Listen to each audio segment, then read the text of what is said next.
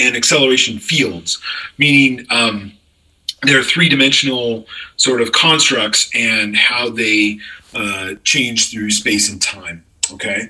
Um, let me let's see. Yeah, I've got I've got a, an overview slide, and then we've got a couple of um, oops, a couple of uh, public service announcements to make here. All right, so let's do this.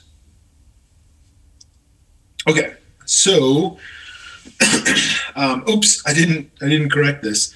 Um, we're no longer in the Bernoulli equation, so now we're going to start essentially a new um, uh, a new uh, what do you call it module in Canvas. So what you see at the top now is a new one that should get released right now. The only thing that will be in there is after class is done and we have the recording of the video of this uh, particular lecture, that'll go in there and then we'll keep adding to it. So this one, we're now getting into um, fluid kinematics.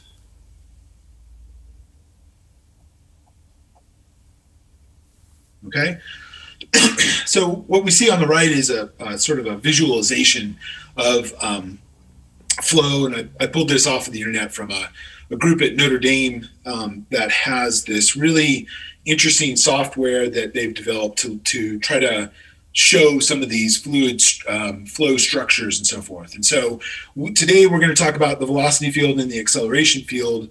On Thursday, we'll start to talk a little bit more about a systems and control volume approach to fluid mechanics, where we have to now think about things going in and out um, of uh, control volumes and so forth. And then we'll eventually get to proving um, the Reynolds transport theorem, which is kind of a fundamental basis for thinking about conservation laws when it comes to fluid mechanics. Um, announcements. So uh, I've got two just comments on um, uh, homework uh, approaches uh, that I'll, I'll, show in the next two slides. And then don't forget that we've got homework seven um, due on Thursday at the beginning of class. Um, and so let me see. So let me, the, the two public service announcements I had, this is, I just pulled this slide from yesterday, right? This was one that we um, worked through. Um, but I just wanted you to note, or wanted to note that when you're using the Bernoulli equation, um, please be sure to state your assumptions. And what we mean by that, in particular, let me change the color of my uh, pen here. Really? Okay, uh, I'll change it to blue, I guess. Um, just putting these, for example, at the locations where they occur um, is useful. So for example, if you put, you know, Z1 equals this and Z equal Z2 equals that, that's useful. That those are your assumptions. But what we've noticed is that um, in working through the homework, sometimes there's an assumption that V equals zero at this point without actually explicitly stating that. So in other words, all of a sudden that term disappears from the Bernoulli equation and there's not an explanation of why. So just if you could just take the extra step to identify um, you know, that you're making that assumption that v at one in this case is equal to zero, um, that would just kind of put a, a, a, better wrapper on your entire um, homework process. And then secondly, um, I just wanted to note um, this just kind of comes back. We're going to revise the way that the instructions for parts two and three of your homeworks look. So instead, they're going to have these bullets and um, there was one little bit that was repetitive, but just the note the stating your assumptions bit here. Okay, so that just kind of feeds back into that. Um, and then um, one thing that that I noticed a little bit on the exam, but um, from the parts that I graded, but um, I of course you guys were under a bit of stress. But there were times when, for example, um, you one might use gamma when they should have used density and then when gamma gets used and it gets multiplied by g again you basically you end up being off by you know if you're working in english units that's 32.2 if you're working in um, uh, si units you're off by a factor of 9.81 right? Almost 10 times. So i don't know if you would have caught it if you had written your units out but that's the goal for um, for trying to track your units through through the problems is that you would hopefully catch hey, wait a minute, I have pounds in here. Why am I multiplying it by another acceleration or something like that? So um, just as an FYI. Okay. Um, I guess with those uh, preliminaries out of the way, I'm ready to jump into um, the lecture materials. We're going to start with a few videos, but are there any questions before we do that? Nope. Nope. No questions. Okay, terrific. Um, okay, I need to go out of this because I these I ended up pulling these up through the um, through the. Uh, let's see. I guess I'll just do this through the the book. Okay, so these three videos at the beginning of um, the chapter four are helpful, I think, in showing us something about how these um, these flow um, or or velocity fields act. So let's start with this one. Um, I think it's going to play automatically. Let's see what happens here. Doesn't seem. Oh, I'm at the end. Sorry. Okay, so this is a delta wing, so it looks like a triangle. We're looking at either the top or bottom of it, and there are little holes in this wing. And what you can see is that um, from each one of these holes, there are um, little bits of dye coming out. And so the fluid that's being released in those um, has, uh, you know, a distinguishable sort of what we're calling a streak line here. So the streak line is showing us how the velocities change in time and space as flow goes over or velocities, whatever velocity field we have around this wing. Okay. and so you can see where they cross over, for example. Um, so those are going to be in different x, y, or uh, z planes, but you can see where they're crossing over, and basically we're seeing um, some structure of the turbulence, let's say, over this uh, particular um, wing. We also see this change in the white um, through time. You know, it looks like there is some sort of a, um, a gust that comes from left to right, um, and then they all kind of ex- extinguish towards the end of this. All right, so this is this is one um, view of looking at these streak lines, but ultimately, what we're going to get to in this particular chapter is the no- notion that all of these have you know non-straight um, or perfectly straight um, uh, velocities to them right they're changing in in uh, x y z and time and and so that's ultimately what we want to get all right uh, hmm. curious i didn't want to see that again do that okay let's look at the second one here now in this case we're looking at um, a, uh, a rotating side of a wing. You guys have worked with some of these problems already. And in this case, what you're seeing is how the uh, velocity distributions change through time, right, in space. So we could think about having a coordinate system that might be relative to this um, this wing edge, or we can just work with our kind of fixed Cartesian x, y, and z. But every one of these is a little arrow um, showing us uh, some intensity, right? The different colors are different velocity values. So we're looking at a complex 3D flow in two dimensions. so we've taken a slice of it. And as this rotates, you know, everything kind of works out fine.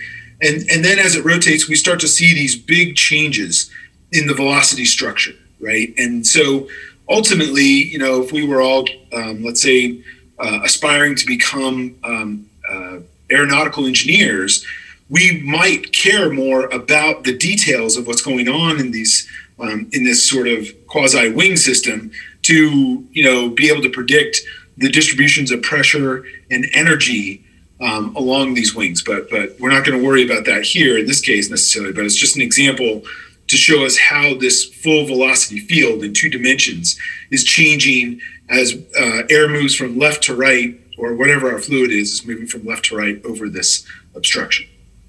All right, third one, real quick. Looks like. Now, this is a little bit different. You can see a bit of oscillation occurring. We're looking down on a flow that's moving from left to right. And you can imagine this like a, a bridge pier in a river underneath a, a bridge, right? And so the water is moving from left to right. It's coming around this obstruction. And then we're getting this temporal uh, and spatial variability in sort of instabilities that are generated um, just downstream or downflow of the um, of the structure in this case. And again, the, the uh, colors of the arrows are indicating the pattern of velocity structures. Their directions are indicated by the, the arrow direction. Okay, so we'll look at, watch this one more time. All right, so we won't necessarily work with anything quite this complicated, but let's let's just try to bite off a little piece of this and understand how um, these velocity and acceleration fields work. All right, so let me go back to my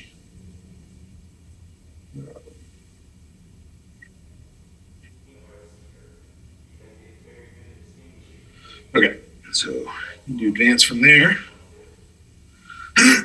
okay, so with fluid kinematics, we have several objectives. I'm going to go into pen mode here. Uh, let's go ahead and use blue again. and the objectives are one, we want to identify flow characteristics based on the velocity field. So something, uh, be able to, to quantify something about that velocity field.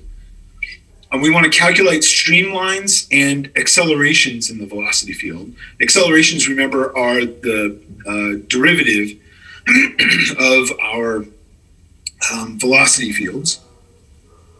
And then we want to introduce concepts of systems and control volume. So that's something we'll start on Thursday. So we're going to try to attack the first two parts of this um, early uh, today, and then we'll move into um, more of this Reynolds transport context uh, Thursday and, and early next week. So learn how to apply the Reynolds transport theorem and material derivative. And we'll talk a little bit about what that material derivative is um, next week. okay, so in your notes, you have these um, three um, fields identified, and I'm going to write them out because I want us to pay close attention to the way in which they're structured. On the right hand side, you can see that we have a velocity vector here, capital V, and it's got three components, right? It's got a U, a V, and a W component. And the U component is acting in the X direction, right? The Y component is acting, pardon me, the V component is acting in the Y direction, and the W is acting in the Z direction. Right. So those are like coefficients that we're just going to use to represent these three directions. And so these cardinal directions. And so this is not unlike um, probably what you've seen in physics before. We also have these three unit vectors, i hat, j hat, k hat. Those are working in the x, y, and z directions respectively as well. So a vector in the um, the y direction um, would might be have a value v multiplied by the unit vector j hat. Okay, so v could be um, v could be a, a, constant value, or it could be a function, right? It could be something that depends on uh, time or or position. All right. So if we were to write, let's start maybe with the simplest and work our way up. So if we were working in one dimension, our velocity vector would be given as u, um, and we could do this in any of the three, but I'm just going to use the x direction and we would define our velocity as some u value as a function of x and or time so position and time multiplied by the i hat unit vector right? Because that's going in the x direction. If we were working in two dimensions we would work in in this case we're going to make that x and y. Um, this is going to be u um, as a function of x y and time times the i hat unit vector plus v. This is a script v, so it's supposed to be the same as this guy over here. v, which is a function of x, y, and time, or could be, um, times the j hat unit vector. Okay? And then you can imagine this gets a little more complicated as we go into the three dimensional flow, where now we're going to have u, v, and w. So we're going to end up with three components here. So v bar, um, our vector is equal to u, but now u can be a function of x, y, z, and time. So we can kind of think about that as four dimensions, right? Three spatial dimensions in one time. Multiply that by the i hat unit vector, and then we have um, v as a potential function of x, y, z, and or time. Times the j hat unit vector plus now w, the script w as a function of x, y, z, and or time multiplied by the k unit vector. Okay? So that's where those come from. And again, we could have written the two dimension to be like x and z or y and z. It doesn't have to be x and y necessarily. We often kind of use x as our our one dimensional flow or representation. And then when we go up to two, we use x and y. And when we go to three, it's x, y, and z. But any of these can work. Um, you know, in the, the lower dimensions, we can we just have to have only one or two of them represented as appropriate.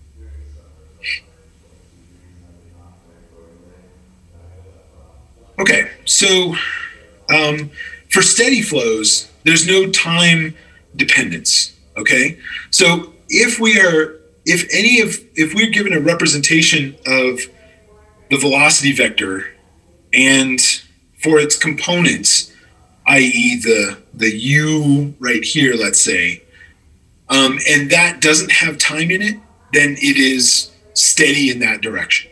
There's no change with time if we are given both of these and neither of them have a time component to them in other words u is just a function of x and or y v is also a function of x or y and t is not included then we have steady flow okay?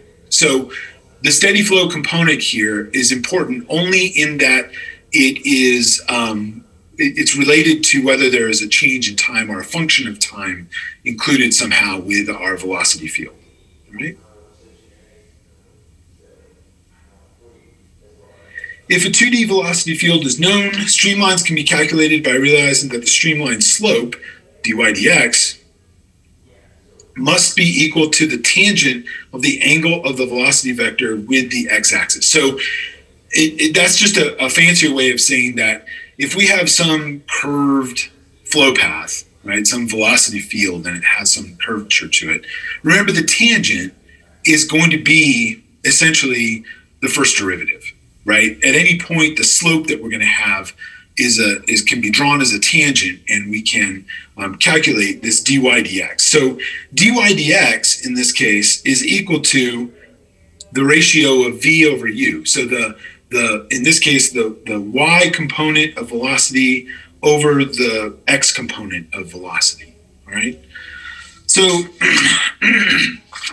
let's put that to use as we think a little bit about some um, a common problem. So we are going to have to start um, thinking more about our calculus and using uh, derivatives of fairly simple functions to try to make some some points here about about um, uh, how we deal with uh, these velocity uh, vectors. So two dimension. This is problem 4.4 from the end of your chapter. Um, a two-dimensional velocity field is given by u is equal to one plus y so there's no t component in here at all. There's also no x component, right? So u is a function. Um, yeah, u is just a function of y, and the other velocity component v is given as a constant. v is equal to one. Okay, so u is equal to one plus y. v is equal to one. Super simple function, right? Or two functions really.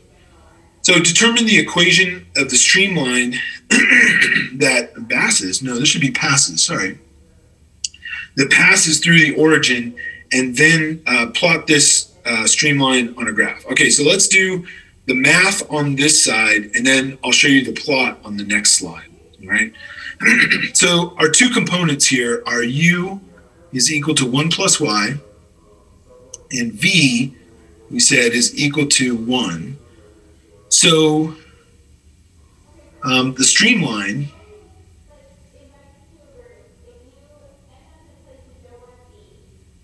is given by um, we said um, dy dx on the previous slide, right? Okay. so dy dx is going to be equal to, we said, we defined v over u, which is equal to 1 over 1 plus y. Okay? So all we've done is just plugged in those two, um, substituted in those values. However, um, we still need to work with this in some reasonable way. So we're going to integrate this. And what we would end up with is basically sort of this cross multiplication. I'm gonna I'm gonna omit the middle here and work with dy. Um, I'm gonna integrate sort of like a cross multiply and divide here, essentially. Or uh, sorry, that's not the right way to do it. We're gonna group the one plus y and the dy, and then the dx on the other side. So this would be one plus y dy, um, and we're gonna take the integral of this. Is oops, that's supposed to be an integral. Sign is equal to the integral of um, essentially one time, uh, let me do it this way, 1 dx. Okay, now I overcomplicated that because I just wanted to point out that it's this numerator that we are um, multiplying by dx to essentially um, make equivalent here, all right, by grouping these. So when we do this, um, when we take this uh, um, uh, integral, we end up with y plus 1 half y squared is equal to x plus some constant of integration, right? Now, um, so c is constant. Um, if we put the streamline through, so this says passes through the origin right? If it passes through the origin, we know that x and y have to equal zero at the origin. So when we plug those in, of course, there's no other constants in this equation. So at the origin, c is going to be equal to zero, right? And so for this to pass through the origin, c has to equal zero. Um, let's see. So for uh, for x equals zero, y equals zero, we know that c is equal to zero as well. Okay? so our equation simplifies then to y plus 1 half y squared is equal to x. Um, so let me just show that on the next slide. Um, I'm just going to rewrite that um, with the, the plot that would go through the origin. So our fundamental equation then comes down to um, x is equal to y plus 1 half y squared. And if we were to plot that, we would get this sort of, of a plot, right? It, it, it looks like a parabola here, and you can see that we're going right through um, the origin. Now, one of the things that you also note about this is that there are some arrows drawn on this plot. So why are the arrows drawn, drawn in that direction? And it turns out that we were given that the V component is equal to one. so because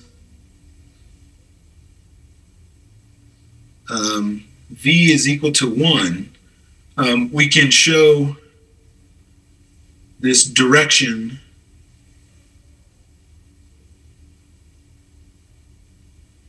on the streamline. In other words, the arrows are pointing in the direction of y increasing, right? y is equal to 1. So with the I mean this has a bigger x component to it clearly, but because y is equal to 1 and always has to be increasing at all points, um, or is a constant at all points, but but going in the positive direction, we can draw the arrows in the in the positive direction of y. In this case, there's not a, a mystery about that. Right.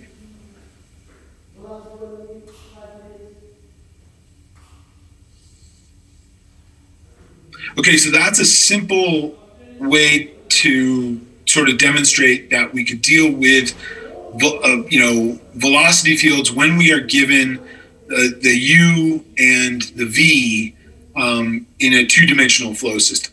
All right. what happens if we go into the acceleration field? First of all, let's start with a real a schematic that we want to understand fundamentally before we start talking about the acceleration field. Okay, so here's our origin down here. We have x, y, and z equal to zero. Note that our axes go in the x, y, and z directions. And then we have this r sub a um, ray or vector that goes out to this location where our little gray barrel there is sort of indicating the fluid parcel or particle that we're trying to track. Now, that particle has been going along this sort of reddish flow path here, and you can see that it's got some curvature to it. but at this particular moment, we have some, you know, some ZA at time t, some XA position at time t, and some YA position at time t. So that's just telling us where we are in space. And you can see that if we were to back up, I don't know, uh, let's maybe not give it a time component, but let's just say from a spatial perspective, if we moved back down to like this location, those would all be different values, right? The X, the Y, and the Z of T, each one of those um, with respect to time, those would all be different values, right? So this is a unique position for this particular time, right? And then we have our velocity vector. So the velocity vector here is a function of the location um, that we're at in time, all right? And you can see then that we have these three components indicated here as well. The, the U, A, the V, A, and the W, A, both of those are um, a function of X, Y, and Z, which is summarized by just that R, R sub A vector and time. All right, so all of these can be changing in time and the three uh, directions in space. And by the way, this is Cartesian space, meaning that we're working in X, Y, and Z. The alternative would be like radial coordinates. If we were working in circular system, we could be working in radius away from a center if we wanted to instead. But let's stick with Cartesian. Okay. So this is the same image again, but I wanted this to, uh, while we have this, um, uh, this notation, so you've got this in your notes, our velocity vector um, at A is equal to this RA, uh, some function RA and time, right? So we have a position vector and a, um, and a time included here. And ultimately, this breaks down to our XA of t, YA of t, ZA of t. So in other words, we have included, we've, we've uh, injected time into each of these locations that are a function of time as well for our particle, right?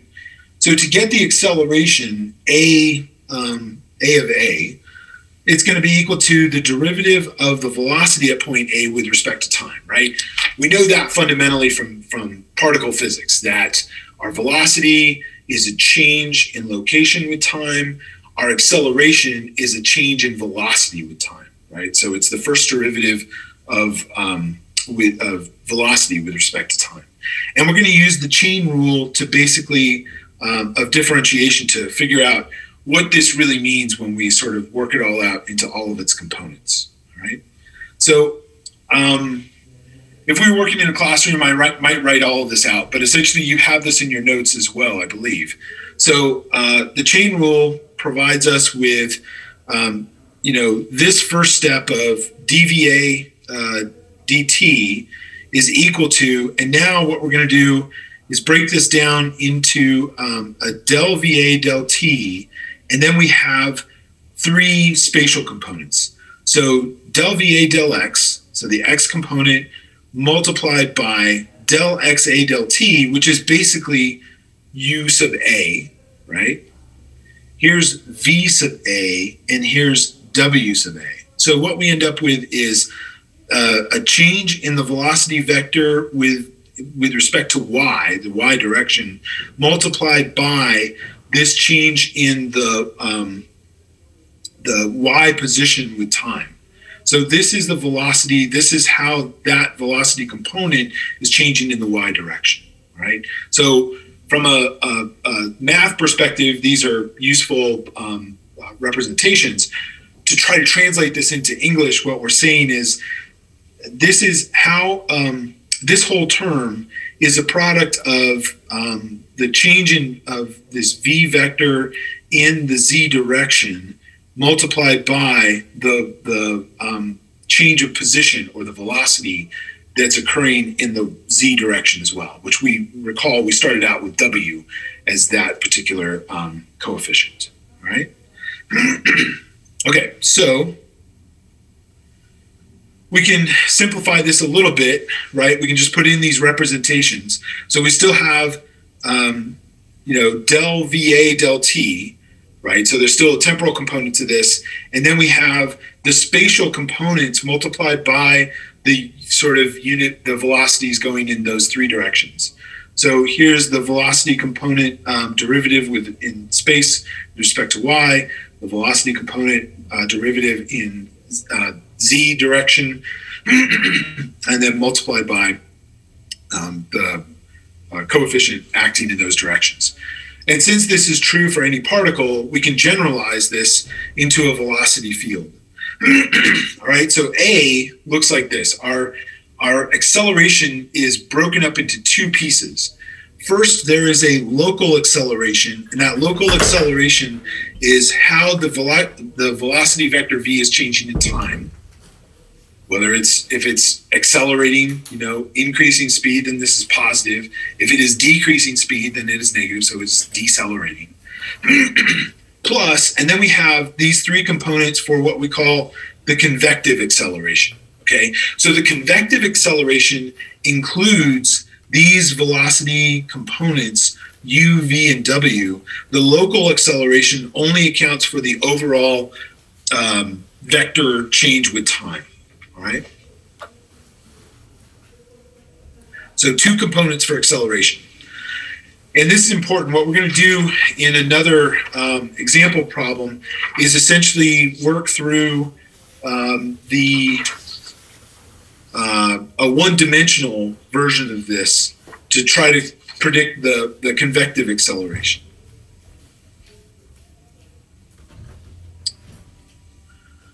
Okay, so first let's look at the acceleration components. Um, we could also break down um, the, the acceleration in the x direction as being equal to del u del t plus u del u del x. I think this is something you have in your notes. Plus v del u del y plus w del u del z. Okay. Um, then the y component of the acceleration can be represented as um, a del v del t plus u del v del x. So how is v changing in the x direction? Plus v del v del y plus w del v del z. Okay. And then finally, the z component of acceleration can be predicted with or calculated as del w del t, as you can expect, plus u del w del x plus v del w del y plus w del w del z. Okay? Someone has a question in the comments just to clarify the difference between the, excuse me, between the local and convective accelerations. Yeah. Okay. What, what's the was that uh, just just wanting more of a, a more of a description? Yeah, they're just you're asking what's the main differences. Yeah. Oh, oh, okay, okay. So the con- so convection. Um, you've probably heard of convective ovens. Convection is a word that we sometimes conflate with advection or movement right? And so on the right hand side of this, the convective component or convective acceleration, those three terms, are really looking at how um, each one of those is sort of weighting this change of the velocity vector in these spatial directions. Okay, so note that the, the, the, the what you're taking the partial derivative to for the convective acceleration is with respect to space. Space in the x direction, space in the y direction, space in the z direction. However, that sort of leaves out the potential for a temporal change. And so the local acceleration is all about um, having uh, a, a derivative with respect to time instead. So convective accelerations include these three velocities or convective uh, components, and then the local acceleration is just the overall vector change with time.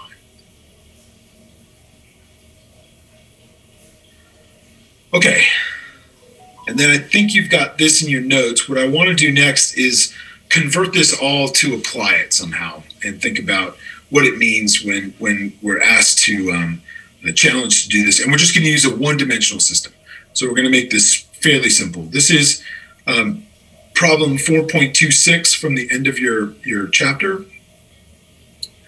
So um, we're given basically this expansion section within a, um, a, a, pipe system, closed system, and um, you can see that we're given a capital V1 here. This is not necessarily a vector, but what we're going to do is convert that to a U at one, right? So we're going to work in, we're going to call the X direction going this way, right? And we're going to um, have these two different velocities. So with respect to time, we get 4t feet per second at location number one, and then we have a different velocity at point number two, right? Now, before we go any further, we expect, we should expect some kind of negative acceleration here, right? In other words, because the cross section is expanding, our velocity needs to decrease. And, and we're told as much, right? 4t feet per second is twice as much as 2t feet per second, right? So if, if t is 5, then this is 20 feet per second, and this is 10 feet per second. So we're always at half of the velocity on this right on the at point number two than we have at point number one. And therefore, velocity with time and perhaps with space, we expect to be decreasing somehow. So a negative acceleration. All right. So I'm gleaning that without even reading anything about the problem just yet. I'm just sort of trying to interpret what's going on here in this system. All right.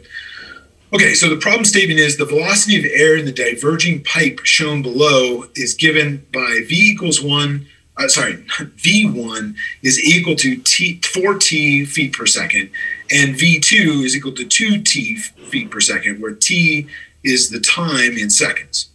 Determine the local accelerations at, at points 1 and 2 is part A, and then part 2, is, or part B, is to average the convective acceleration between these two points. Is that negative, zero, or positive? So we could expect, and then the question is why. So part B, we're going to expect is negative, um, and we'll we'll talk about why that's the case, or we'll prove the why part of that in a moment. Um, first of all, we're looking for the local acceleration um, at points one and two. So how is is in this case, we're given these V's. I'm going to convert those to U's just to indicate that we're working in a one dimensional system. So, how is so part A is basically solving for del U del T at one and del U del T at point number two. Okay, so we're just going to take the derivatives of those to figure out those um, accelerations, right? Um, so let's go ahead and do um, at 1 del u del t at 1 is equal to uh, the partial of 4t with respect to t, which is equal to 4, it comes out to 4 essentially, 4 feet per second squared, right? Um, gives us that um, acceleration. And then um, del u del t oops. At point number two is the same thing. We have del now of 2t um, del t, and we come out with two feet per second squared. Okay, so very straightforward on this calculus, um, pretty easy. Now, what we need to do is figure out this convective acceleration, which is slightly different. So, real quick, just to go back, so somebody had asked this question.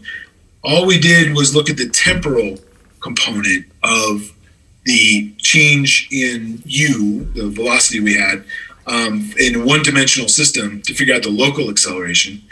When we come to the, the next part B, with the essentially the convective acceleration, we're just looking at one term because we only have one dimensional flow. Okay. So our one dimensional velocity now, I'm going to do this on the next slide. Part B, we have that the convective acceleration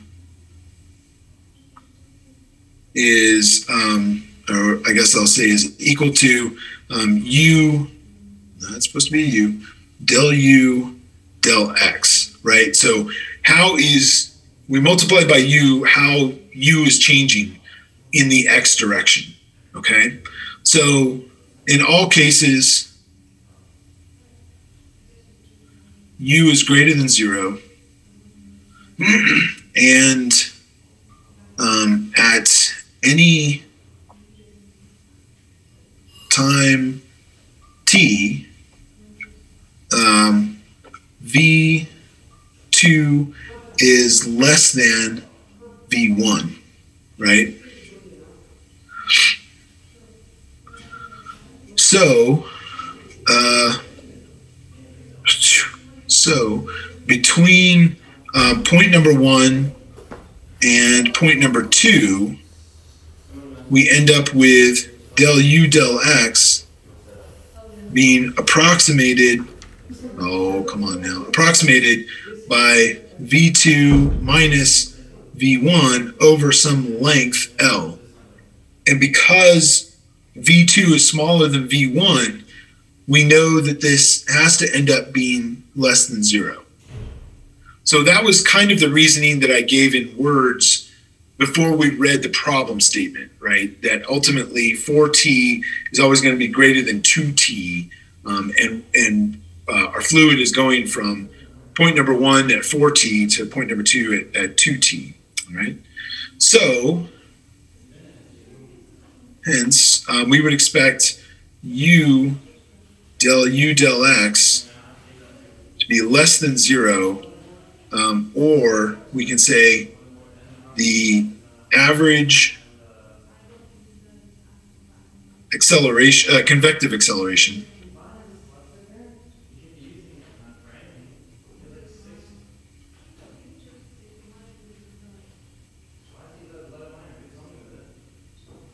Is negative. It's we're we're slowing down the flow the velocity. Okay? All right. Um, I forgot to start our Reef app. So the next things that I have are a series of Reef questions that I want us to um, talk our way through um, and get your input on them. And we'll put, we're going to end up putting some of this um, new knowledge to practice with um, a one-dimensional system. All right. So let me let me get out of this real quick, out of PowerPoint real quick, just to launch the Reef app and get the class started. Apologies for that. Keep this. And, oh, that's part of the reason it disappeared from my my toolbar. There it is.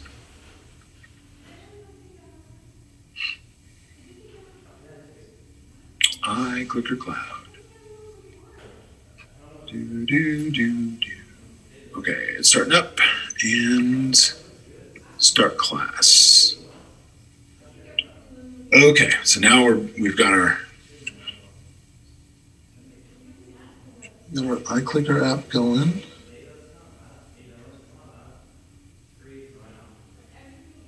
Okay, so here's our first one. Here is the velocity that is given. We have um, now we have a one-dimensional uh, velocity that is acting in the y direction. Okay, and the reason we know that is because we have the j unit vector included here. So suppose the velocity vector v is, is in a velocity field is given by v is equal to 6x um, j, uh, the unit vector j. Right. So the question here is of these four, is this a one-dimensional flow in the x direction, a one-dimensional flow in the y direction, two-dimensional flow in the y direction, or two-dimensional flow in the x direction? And I feel like um, I may have given that away when I started describing this. So, so go ahead and uh, answer this question. We've got a couple more built on this, but we're going to start with this.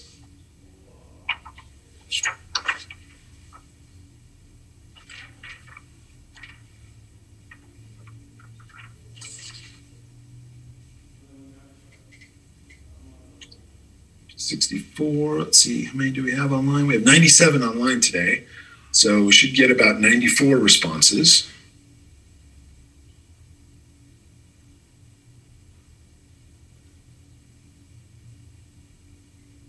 Got 20 more seconds. We have three more of these questions to go through. But again, this is just, we'll just build our knowledge here a little bit. To 90. Going once, going twice. Give you a couple more seconds here. We'll go to 110. Any others? Okay, looks like we're going to end there. All right, so stop there. And we had two votes for A, uh, 64 votes for B, um, 22 votes for C, and three votes for D. Okay, good. And no one chose E, which is always a wild card. Um, someone may do that. All right, so in this case, um, the correct answer is in fact B. And the reason we know this, whoops Oh, I'm in I'm in that mode. Oops, sorry, let me go back. Okay, so the reason we know this is that we're given the j unit vector and the j is acting in the y direction. We're, we're not given any information about an i or k, so it's one dimensional and it happens to be in the y direction. So this is the right answer. Um, good on you, uh, 64 of you. And um, with respect to, I can see where you might want to assume that it's two dimensional for anybody who chose C or D. And the reason that it's not is only because we're not given any information about a, a, a, another direction. It could be whether it's X or Z, we're not given any information. Um, so just because Y is often the second dimension we care about, um, we actually have to have information about X or Z to say that it's a two dimensional flow. Um, so in this case, this is a, one dimensional velocity. Okay, um, let me put that away. Go to the next one. okay, so now we have the same vector. The question is, is this flow steady? uh, is it uh, possible only if it's compressible flow, meaning that uh, um, our density can change? Or C, is it changing with time? Right? So with the information given, which one of these is true?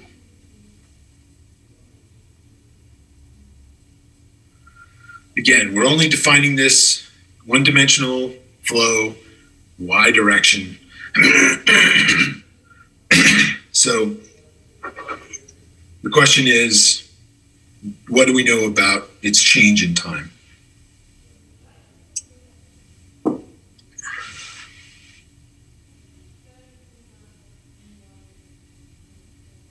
right, we're up to 80, 83.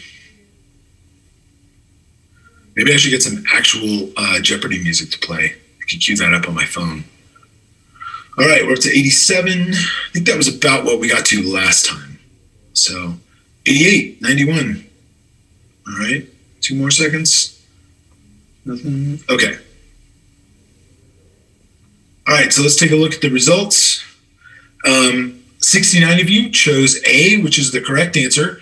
Um, we're not given the reason that we know this is that we're not given any information about t, right? There's no, uh, our velocity is not a function of time at all. If it was a function of time, then we could say that it is accelerating or deaccelerating, you know, depend on whether it was a positive or negative value. But essentially, with 6xj, uh, the, the j vector, unit vector, 6x is essentially all the information we're given. So as we change in the x direction, we are increasing or decreasing the velocity amount, but that has nothing to do with time in this case. Um, there's no there's no function of time. So A is the correct answer, and um, uh, there's no information about whether it's compressible or not. Right? There's we don't have anything um, indicating anything about uh, change in density or mass. So, so B would have been hard to reason out as well. All right, let's keep going. Here's our next one.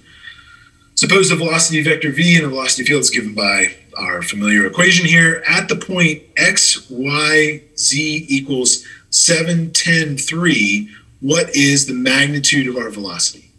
All right, so we'll give you a minute. Um, I will only give you the hint that you do have to do a small amount of math to figure out the value. So is it 18 meters per second, four, uh, sorry, 42 meters per second, 60 meters per second, or 210 meters per second?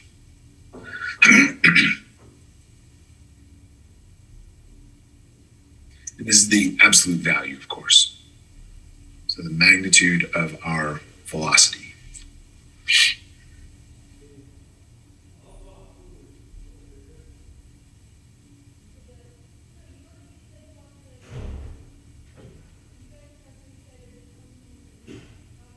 Okay, we're up to 73.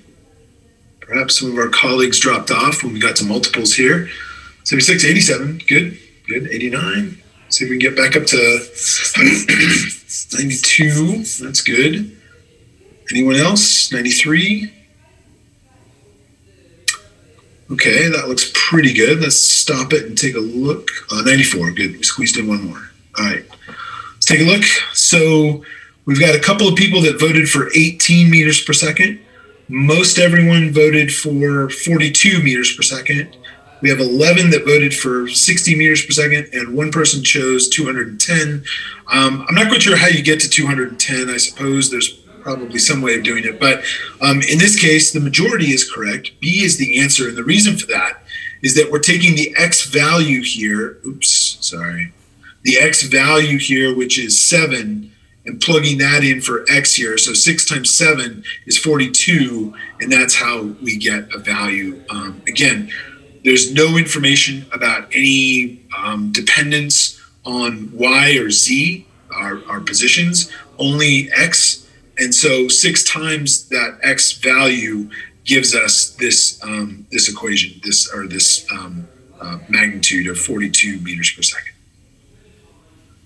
Okay, um, do that. so B was the right answer. Oh, I'm not in pen mode. Oh, let's go highlighter mode. B is our right answer. All right. this is the last one of these, I think. Yeah, okay. Given the following description of a flow field, so now we have three dimensions, right? We have uh, three dimensional flow. We have in the I direction, we are dependent on x squared. In the j direction, we're dependent on y squared times five. And then in the k direction, we're also um, uh, dependent on a square, in this case, z squared multiplied by three, all right? So where the symbols are bold are vectors, which of the following is true? The flow is unsteady, flow is one dimensional, two dimensional, or three dimensional. Once again, I gave it away, my bad. You weren't paying attention, you can read this now and figure out which one of these is the right answer.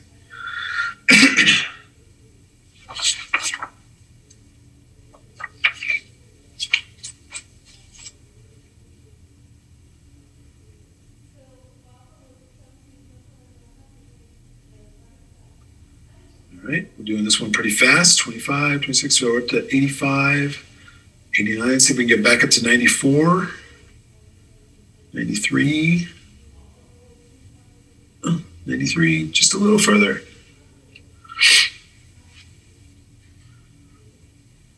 All right, may I get the 94th person.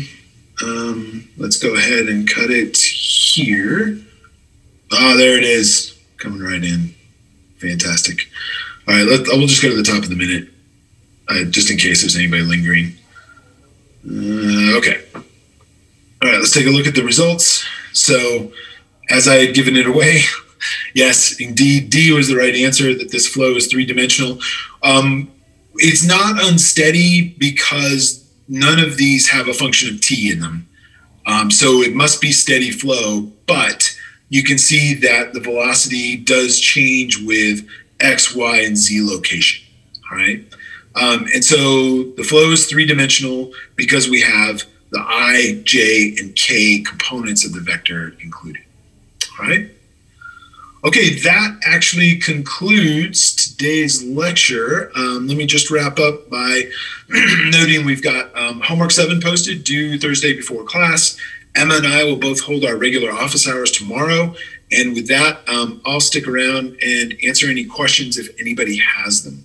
But otherwise, I hope you have a great day, and we'll see you um, on Thursday. Thank you. Bet. Thank you. Take care.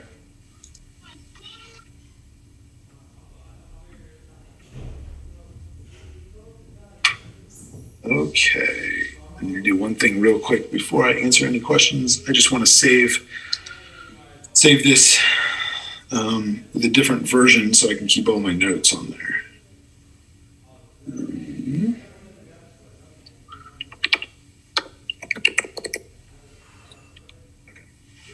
Terrific. All right. Does anybody? Oh, I guess I could stop sharing to make this a little easier. Okay. Anybody have any questions? I had a question about the um, the Reef app. Yeah, um, I've, oh, I forgot to mention that at the beginning of class. I got like three emails yesterday um, that there have been some challenges with it. Um, Ethan, what what are the problems you're having? So um, I don't know, but since like you like have the graded kind of parts now, um, it's not giving you any points for like if you got it wrong. But uh, I, that was fine. But I'm just saying if you wanted to get like you're grading it off participation. Yep. Oh, so, so if you so if you get it wrong, we don't care. We're just we're just looking to see if you um, responded. okay, Yeah. So don't worry about accuracy on it. Uh, well, I mean, we want the accuracy of like uh, what I'm worried about is, Yeah, yeah. is is that some people are saying that they're not actually being um, acknowledged that they're that they're in and not being acknowledged. So um, uh, are, are you are you actually seeing that your your uh, responses are being registered? It's it's all good on that front. It's just like uh, like one of those days, like I had I answered one of them right and one of them wrong, and it like brought my average all the way down. So I was like, Oh yeah, don't okay, don't don't worry about that. Yeah, yeah, don't. Um, yeah, we're not using those to grade with. Um, I, maybe that was I didn't quite understand everybody's um, message with, that they sent me. I'm more worried about it. Not I'm having a problem with everybody thinks grades getting synced inside the um, the software, which is a bigger issue. One thing that So, wasn't doesn't do I'll anything. worry Yeah. about it. Layouts wasn't Yeah. So no worries about it. As long as you had an attempt, that's what's important. all right, sounds good, thank you. You bet. Take care. Anyone else? I see lots of names. Hey, Um, I have a really quick question about the acceleration. So, the overall acceleration is that acceleration um, equation that you wrote down, where it's like the partial of v with respect to t plus construction, remember? u, um, the partial of v with respect to x plus v with the partial of v with respect to y. That's the overall acceleration equation. But then you broke it down into the separate like acceleration components if you wanted to find x, y, or z. Yep. Okay. Okay. Yeah, so sorry, maybe I didn't make that clear. So the overall was the one that we wrote on the bottom of Yeah. the first slide, and that that convective versus local is the key for whether time is included or not. So imagine, for example, that very last three-dimensional um, um, velocity that we showed. You know, if all, all of this, the, there was a, the x squared, y squared, z squared in that vector notation meant that if as I moved forward, so to speak, um, in the x, y, or z direction, I'm going to accelerate. My velocity has to increase, Mhm. but I don't include time in that. It's only a spatial construct. Oh, okay. That's Oh. how that's how the convective part of that works. Okay. Cool. Cool. That Okay. make sense? Yeah, thank you. Great, you bet. Catherine. Hi. Um, so I'm the student, one or one of the students that reached out about the Spur program over the summer. Oh, okay. Thanks. Did, did I reply to you? Um, the first time, yes. The second Oh, no, um, I was thinking, what was that? Sorry.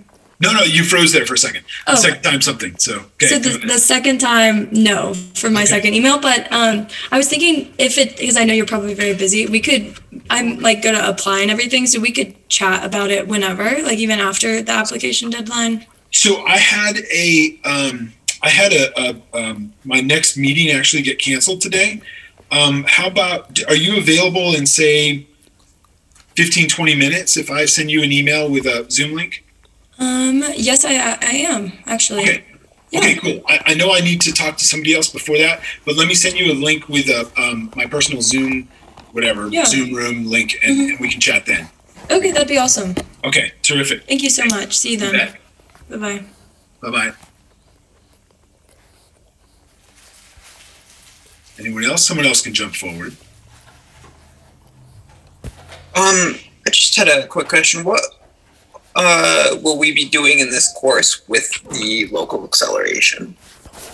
Um, the local acceleration. So, one of the things we didn't talk about today is the perspective of whether we are looking, we are trying to do a framework that is Eulerian or Lagrangian. Okay. Now, an Eulerian perspective, I I like to. So Euler was actually